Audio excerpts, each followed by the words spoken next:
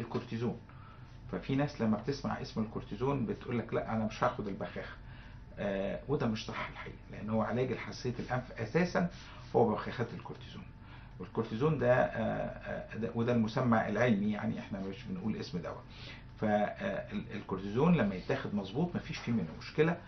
آه وخصوصا الكورتيزون الموضعي لأن معدل امتصاصه للجسم يكاد يكون مش موجود.